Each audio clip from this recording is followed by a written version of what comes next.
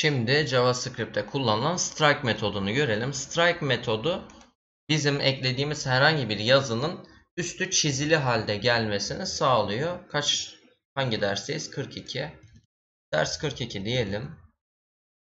E, strike metodu yazalım bunun içerisine. Hemen dosyalarımızı oluşturalım. Ders 42'ye HTML dedim. Sonrasında JavaScript dosyamı da oluşturdum. Bunun layout'unu oluşturup buradan kopyalıyorum ve hangi script dosyasıyla bağlamak istiyorsam onun adını eksiksiz şekilde yazıyorum. Şimdi metnimizi oluşturalım. Var text diyelim. Hello world. Sonrasında var result diyelim. Text nokta strike diyorum. Strike'ın üzeri çizili geliyor. Yani bu deprecated. Bunu bu şekilde kullanmayın. Bunu önermiyoruz. Uyumluluk açısından.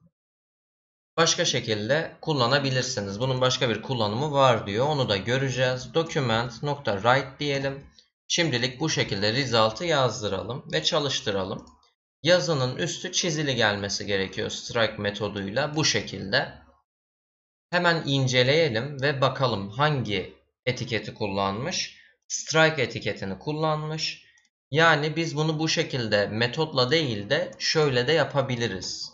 Result 2 diyelim. Buraya geldim. Strike açtım.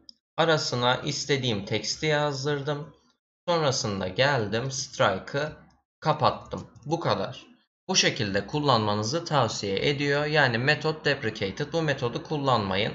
Başka tarayıcılarda bazı tarayıcılarda çalışmayabilir diyor. Bu şekilde uyumluluk sıkıntısı var. O yüzden direkt olarak HTML'de bir strike elementi var. Bu strike elementini kullanabilirsiniz. Şeklinde belirtiyor. Yine result 2'yi de yazdırdığımızda aynı sonucu göreceğiz. Çalıştırıyorum. Yine aynı sonucu aldık. Yani biz bu şekilde etiketle de kullansak, metotla da kullansak aynı sonucu alıyoruz. Bu şekilde strike metodunu da gördük.